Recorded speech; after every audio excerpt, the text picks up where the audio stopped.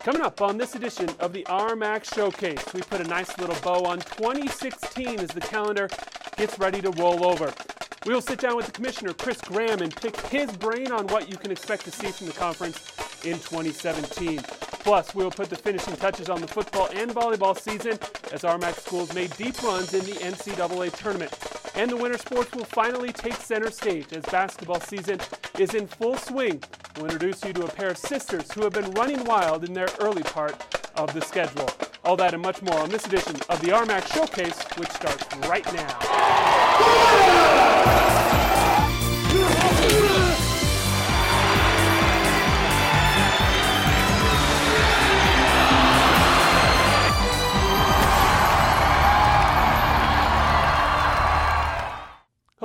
And welcome to the RMAC headquarters located in a very chilly Colorado Springs. I'm Jason Carter, your host for the next half an hour. We'll begin by officially putting a bow on the fall sports season as a couple of RMAC schools made good runs in the NCAA tournament.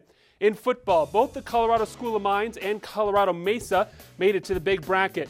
Mesa's season ended in the first round after a 34-32 loss to the number 8 team in the country, Texas A&M Commerce. The Mavericks end the year with a 9 and 3 record. Colorado Mines, who shared the RMAC regular season crown with Mesa and CSU Pueblo, earned the sixth seed and pulled off a big upset in round one, nearly doubling up Southwest Baptist 63 35. The Orediggers season ran out of steam the following week as they dropped a 38 17 decision to 15th ranked Ferris State.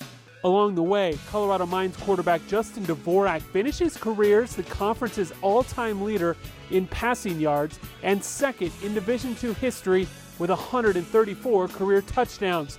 He also set several school records, including completion percentage. He, along with Western State running back Austin Ekeler, were named finalists for the Harlan Hill Trophy, which is given to the top player in all of Division II football. Think the Heisman Trophy for D2. Ekeler finishes his career as Western's all time leader in rushing yards, attempts, and touchdowns.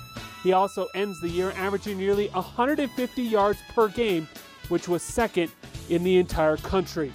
When it was all said and done, Dvorak would receive the most votes and become the second player in Colorado Mines history to win the Harlan Hill Trophy. He's the third from the RMAC ever, joining fellow Oredigger Chad Friehauf in 2004 and two time winner Danny Woodhead from Chadron State. Ekeler finishes his record breaking career eighth in the voting. The volleyball season saw Metro State win the regular season crown while Colorado Mines upset the Roadrunners for the conference tournament title. Those two teams, plus Mesa and Regis, all made it to the NCAA tournament. Regis and Mesa dropped their opening round matchups. The Mavericks had to travel to Texas to face fellow Colorado school Metro State, while the Rangers fell to Tarleton State. Metro and Mines both advanced to the second round. That was as far as the Orediggers would go as they lose a 3 1 decision to top seed Angelo State, while the Roadrunners get through to the Sweet 16 with a four set win over Tarleton. The round of 16 saw the RMAC season officially come to an end as Metro gets swept by Angelo on the Belles home court. Metro finishes the season with a 27 and 5 overall record.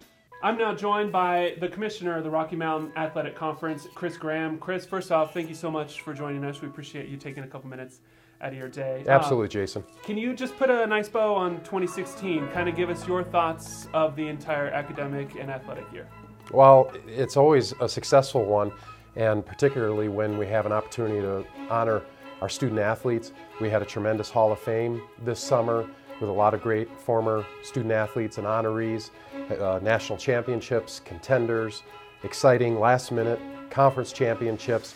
Uh, we had a, a, Woman of the Year finalist from Adams State University, Lauren Martin, and it was one of the uh, crowning achievements of female athletics and the Rocky Mountain Athletic Conference. I would say it's a, as successful of a year as we can have. A very successful year both for individual athletes, institutions, and teams throughout the conference. Oh, without a doubt, Jason. MSU Denver hosted the Spring Sports Festival last, last year. Colorado School of Mines had one of our top Learfield Cup standings finishes. That's a cumulative total of all the success of all programs at the national level at their institution. And compared to other Division II programs, one of the top finishes. collectively for the season. And of course, Adams State University winning yet another men's cross country title this past fall down in St. Leo, Florida. It was a great year for the RMAC. You also you've released some of the NCAA academic data. Um, and you mentioned student athletes around the conference perform incredibly well. Yeah, that's right.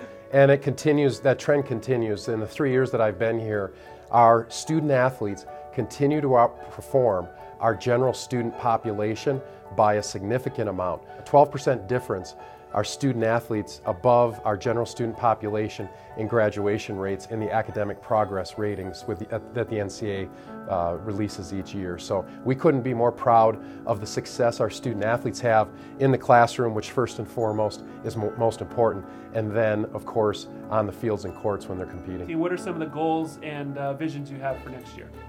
Well, first and foremost, we have to replace a full time employee, a long standing employee Eric Danner, who sat in your chair for over, yes. for over a decade and did an outstanding job here with the showcase. We're going to miss Eric, but we wish him well in his new position with the Western Athletic Conference in Denver. Uh, we're very excited to be adding new employees to the staff, have a, a, great set of interns to, to enhance our services to the membership. That will be an ongoing vision and goal of ours, is to continue to build better championships and better experiences for our student athletes. In addition to that, we're moving locations. We've been a, a tenant of UCCS across the street here in Colorado Springs for many years. We love the city. It's a great sports city. We're going to be moving in with USA Triathlon, a national governing body. They've, they've been uh, very hospitable in preparing to host us as a new tenant in their building. So we're very excited about that move into uh, new office space. We're going to be adding Dixie State University in 2018-19. That was a decision made by our President's Council about two months ago in their fall meeting at Colorado School of Mines. It was a unanimous vote to bring them in as a 16th member. Of course, we were uh, disheartened when we lost Western New Mexico out of Silver City, a longtime member, but we're extremely delighted to have Dixie State in. Very strong athletic programs, uh, sound academics, and uh, in a beautiful city, St. George, Utah. We're very much looking forward to partnering them with West, Westminster, our, uh, one of our most recent members. And, and finally, in 2017, we're going to continue our emphasis on student athlete mental health. It's become an emphasis of the NCAA, the Chief Medical Officer, Dr. Brian Hainline, and we ha have identified issues on our campuses where we think we can support our student athletes better in, in cooperation in conjunction with um, medical professionals and student support services on campus, connecting the athletic department better, establishing policies. We have some demands that student athletes find that on occasion or uh, commonly will be will uh, be greater than what the general student finds and we want to make sure we're supporting those student athletes with any efforts that we can provide and policies uh, regarding mental health and ensuring their, their well-being. Awesome. Chris, thank you so much for your time. Okay. Appreciate it. Good luck in 2017 as the calendar flips over. Thank you, Jason. That wraps up the first portion of our show. When we come back, we dive right into the winter sports season with some conference action on the hardwood for both the men and women. Don't go anywhere. The RMAC Showcase will be back after this. Time out.